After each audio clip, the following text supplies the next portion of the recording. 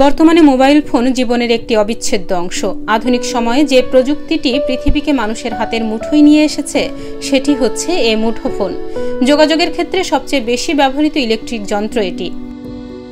তবে এ ফোনের সঠিক ব্যবহার যেমন জীবনকে সহজ করতে পারে, একই সাথে এর অপব্যবহার হতে পারে বিপজ্জনক। অতিরিক্ত মোবাইল ফোন ব্যবহারে মানুষের ভেতরে স্বাভাবিকভাবেই কিছু লক্ষণ দেখা যেতে পারে। মোবাইলে আসক্তির এই কারণকে বলা হয় নোমোফোবিয়া বা no mobile phone phobia.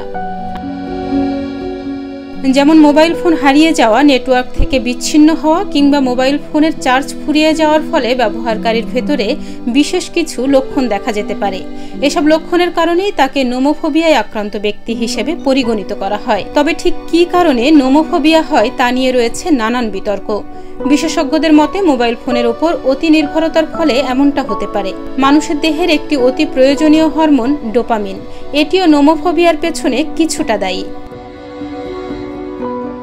Nomophobia এখনও কোনো স্বীকৃত মানসিক রোগ না হলেও প্রযুক্তির অতি ব্যবহারের ফলে যে মানসিক অসুস্থতা তৈরি হচ্ছে, একে অস্বীকার করার কিছুই নেই।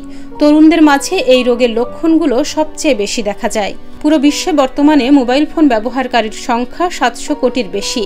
এর মধ্যে আমেরিকায় প্রায় ছেষট্টি শতাংশ ব্যক্তি নোমোফোবিয়ায় আক্রান্ত। উনসত্তর শতাংশ মোবাইল ফোন ব্যবহারকারী ঘুম থেকে উঠে সবার আগে ফোনে হাত দেয়। এমনকি ছাব্বিশ শতাংশ সড়ক দুর্ঘটনার ক্ষেত্রে চালকদের ফোন ব্যবহারকে দায়ী করছে পরিসংখ্যান।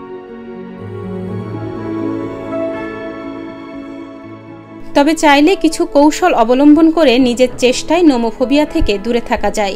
যেমন গভীর রাত পর্যন্ত মোবাইল ফোনে সময় না দেয়া, অল্প সময়ের জন্য বাসায় মোবাইল ফোন রেখে বাইরে অবস্থান করা, কিংবা দিনের একটি সময় সব ধরনের প্রযুক্তি থেকে দূরে থাকার মতো কাজগুলো নোমোফোবিয়া থেকে দূরে রাখতে পারে আপনাকে।